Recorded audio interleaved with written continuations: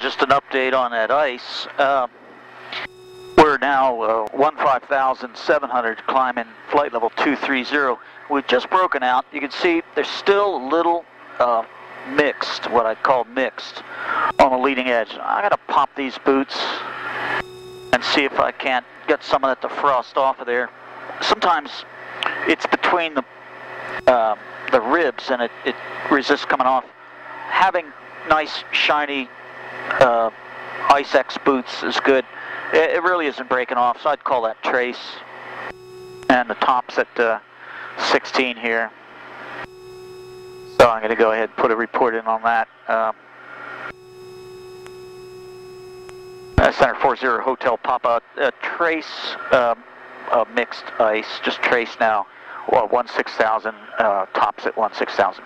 40 Hotel Papa, Roger, thank you for the report. And you said just trace? Uh, you're welcome. And what was the last, uh, uh, what did you say last? Just want to verify you said it was just trace icing? Affirmative, trace.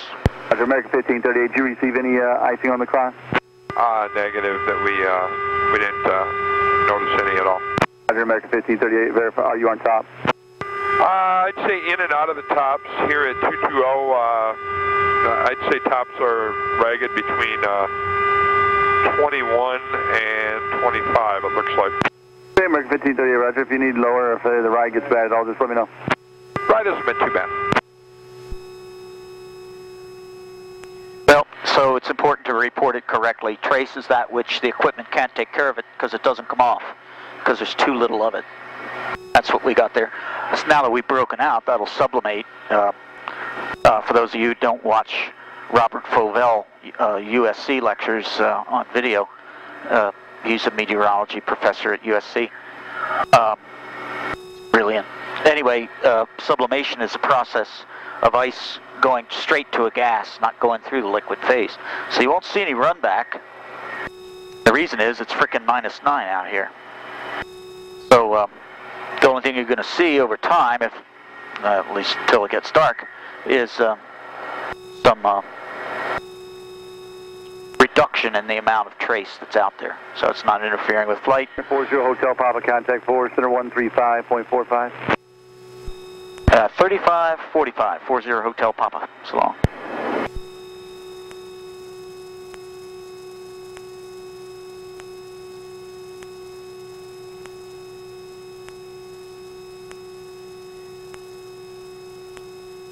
The center Malibu 40 Hotel Papa 17800 uh, climbing flight level 230. Malibu 40 Hotel Papa 4 center climb maintain fault 250. 250, thanks 40 Hotel Papa. Alright, so we, uh, okay, get this set in here, uh, 25, and climbing at 130 knots, good. Okay, uh, some clouds up in front of us, we knew that. There's, uh, you know, moisture everywhere today. These are not, uh, there are some cumulus over there, you can see them.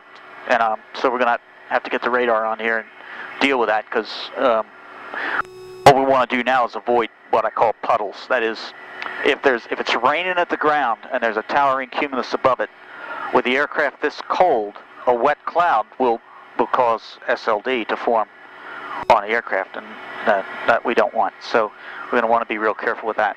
Even though it's not producing lightning, um, SLD would would of course be bad. So let's watch that carefully. And one way to do that is to get the radar on and uh, wait for it to come up here, and then we'll uh, we'll tune it up. There are three positions for the radar. There's uh, the ground position, or the parked position, I should say. We're painting the ground on the outer third. Um, let's range in here and uh, tilt down some.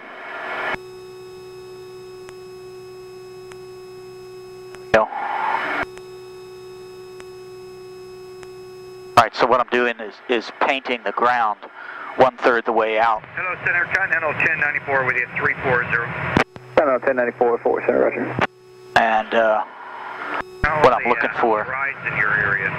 Continental 1094, unfortunately, uh, light top at least up to is uh, puddles 29 or so. on the ground in front of us, either on the next rad uh, or on the radar. Uh, I'm not concerned about lightning or thunderstorms say because they don't exist here today. Uh, it's smooth now, it's got fit But I do want to be careful with this, Count uh, on this line I of want what to could be wet clouds here. 320. I wanna consider- to, Say uh, 1 o'clock and. Uh, See one with a little bit of an anvil top over there. It's obviously producing rain. I, but these are decayed. I, you know, I'm not seeing it on the ground, so uh, I, I think we're going to be good to go here. Let's just be real careful with it, though.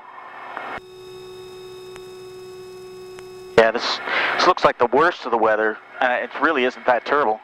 Uh, on the radar uh, is off to the right, and it also looks like uh, that's also true with the uh, the NEXRAD, both on the GMX 200 and on the uh, the aera 560, which I carry with me, just in case I don't have onboard stuff.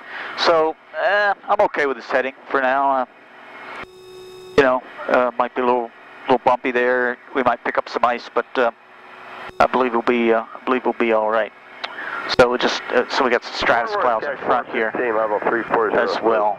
ICAC is 415. Hard to estimate those distances. Just a little bit of light transfer in the report so far today. But uh, let's just uh, we'll continue this way, and we can make a make a turn if we need to if it gets uh, if it gets too bad. All right, there it is, Dick Rochfort, pilot trainer, PA 46. Fly safely, train often.